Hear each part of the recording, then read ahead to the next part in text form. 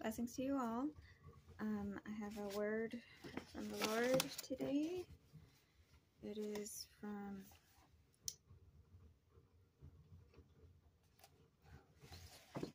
I don't know what book that is. that is funny.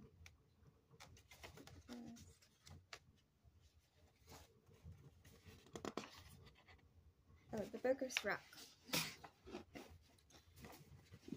It is chapter 51. It is the chapter is titled A Prayer of Jesus, the Son of Sirach. And I'm going with verse 22 through 30. The Lord gave me a tongue for my reward, and I will praise him with that. Draw near to me, you unlearned, and lodge in the house of instruction. Say, Why are you lacking in these things? And your souls are very thirsty. I opened my mouth and, smoke, and spoke. Get her for yourselves without money.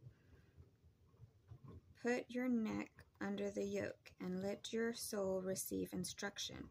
She is hard at hand to find. Behold with your eyes how that I labored but a little, and found myself much rest. Get instruction with great sum of silver, and gain much gold by her. May your soul rejoice in his mercy, and may you not be put to shame in him praising him. Work your work before the time comes, and in his name he will give you your reward. Okay, now I'm going to go to Second Peter. We're reading from chapter 1 until verse 11. Simon Peter, a servant of an apostle of Jesus Christ, to those who through the righteous of our God and Savior Jesus Christ have received a faith as precious as ours. Grace and peace be yours in abundance through the knowledge of God and of Jesus our Lord. His divine power has given us everything we need for life and godliness through our knowledge of him who called who called us by his own glory and goodness. Through these he has given us his very great and precious promises, so that through them you may participate in the divine nature and escape the corruption of the world caused by evil desires. For this very reason, make every effort to add to your faith goodness, and to goodness, knowledge, and to knowledge, self control, and to self control, perseverance, and to perseverance, godliness, and to godliness, brotherly kindness, and to brotherly kindness, love. For if you possess these qualities in increasing measure, they will keep you from being ineffective and unproductive in your knowledge of the Lord Jesus Christ, our Lord Jesus Christ. But if anyone does not have them, he is nearsighted and blind, and has forgotten that he has been cleansed from the past sins. Therefore, my brothers, be all the more eager to make your calling an election for sure. For if you do these things, you will never fall, and you will receive a rich welcome into who into the eternal kingdom of our Lord and Savior Jesus Christ.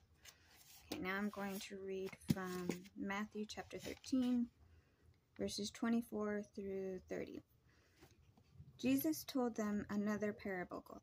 Parable. The kingdom of heaven is like a man who sowed good seed in the field. But while everyone was sleeping, his enemy came and sowed weeds among the wheat and went away.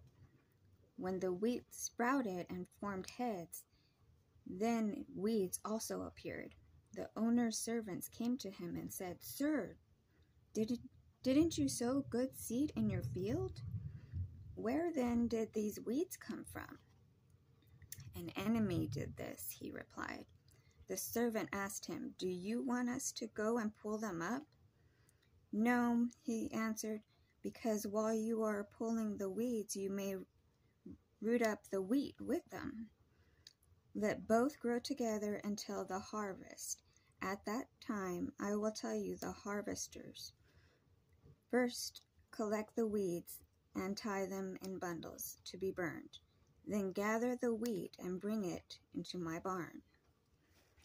Okay, so my notes from all of this that he's been saying, he's been talking a lot about the our eyes and our ears and our words.